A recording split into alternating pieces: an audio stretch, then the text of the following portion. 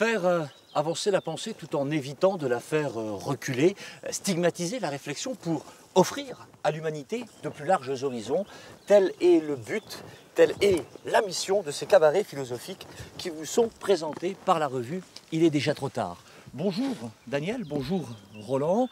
Aujourd'hui un sujet un peu compliqué, un sujet brûlant, puisqu'il s'agit du réchauffement de la planète, Roland.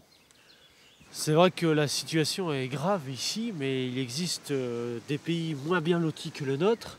Comme par exemple Je pense par exemple à l'Argentine, qui se trouve carrément sous le trou de la couche d'ozone, où là, ce sont des pans entiers de l'économie qui sont en train de s'effondrer, comme par exemple le marché de la presqu'île, le marché de la Norac et tout ce qui concerne le patinage artistique en général, où là, les spectateurs voient littéralement fondre les patinoires sous leurs yeux.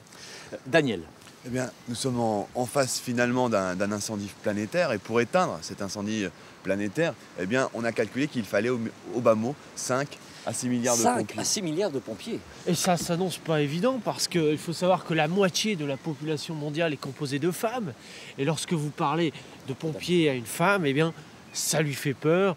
Elle va préférer de loin être institutrice, péricultrice, euh, infirmière Ou tout simplement gaveuse d'oie. ou gaveuse d'eau. Alors, euh, qu'est-ce qu'on a aujourd'hui comme solution concrète? Qu'est-ce que, Quelle est la solution que vous, les penseurs, vous avez à nous proposer? Eh bien, on a réfléchi et on s'est dit, eh ben, au lieu de combattre ce feu, on va, on va se jeter littéralement dans le feu pour se transformer en charbon de bois. Et grâce à ce charbon de bois, eh bien, on va peut-être, au bout de 200 millions d'années, se transformer en pétrole, comme l'ont fait généreusement jadis les dinosaures, les tigres à dents de sabre et, et Les par exemple les, huîtres sauvages et- et- et je ne sais. Et, et- Et- et c'est appréciable parce que euh, il- faut imaginer que des espèces vont évoluer pour remplacer l'homme et que ce pétrole va être utilisé par les chiens, par exemple, qui vont peut-être bientôt se mettre à devenir intelligents, à lire des livres, prendre leurs responsabilités, et ils auront besoin, dans 200 millions d'années, euh, de pétrole pour alimenter, je ne sais pas, le- leur niche volante, pour aller chercher leurs cigarettes très au bout de intéressant. la rue. C'est très intéressant ce que vous dites parce que ce qui est valable peut-être pour les chiens est peut-être valable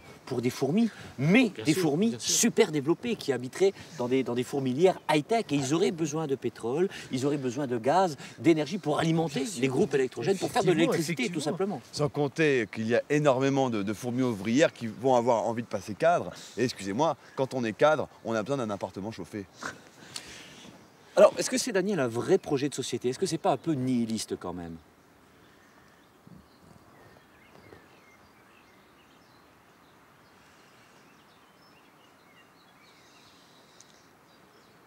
En tout cas, des solutions, il en existe sûrement. Merci Daniel, merci Roland. En ce qui nous concerne, nous allons continuer à chercher pour prouver que non, non, il n'est pas déjà trop tard.